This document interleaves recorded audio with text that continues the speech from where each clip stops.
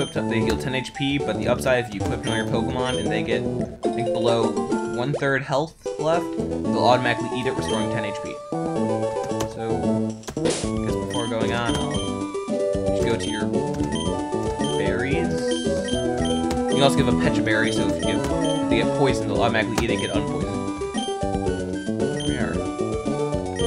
Well, I think that'll end off for this video. Thank you for watching. Uh, etc, etc. Have a nice day. Luke3298. Peace. Nah, stupid. Bad ending. Anyway. 10, 9,